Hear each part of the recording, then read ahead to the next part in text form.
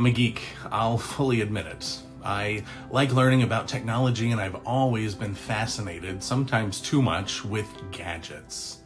I was reading an article by the president of a group that I follow in the church world called Convergence, and she pulled an interesting quote from Rabbi Abraham Heschel, who talks of the experience of a deeply spiritual life. He writes, Our goal should be to live life in radical amazement. Get up in the morning and look at the world in a way that takes nothing for granted. Everything is phenomenal, everything is incredible. Never treat life casually. To be spiritual is to be amazed. This quote was in response to an article about dealing with AI or artificial intelligence that seems to be breaking into our world everywhere. She was listening to another pastor who said that artificial intelligence is shepherding or leading his church into the valley of the shadow of death.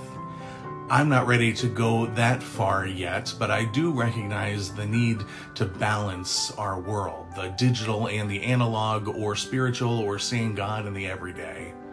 AI is helping to imagine things that we may not have thought ever thought possible and technology as it is always evolving helps us in so many other ways but Rabbi Heschel is right we should live our lives in radical amazement always being curious and surprised by God at every twist and turn in every interaction in every sunrise and sunset and yeah I'm going to say it even in the snowflakes to be spiritual, to look for God active around us is indeed to be amazed, and we are continually on this journey to balance the digital with the non digital. Hybrid, we've come to call it nowadays. You can't shun one in favor of the other, it just isn't going to work.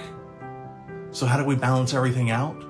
Our digital life, our family life, our prayer life, and our being surprised life? I don't have an answer, but maybe we can figure it out together. Blessings on your week. Know that I am regularly thankful and amazed by all of you who watch this video each week. This is your moment of peace with me, Pastor Travis Wilson.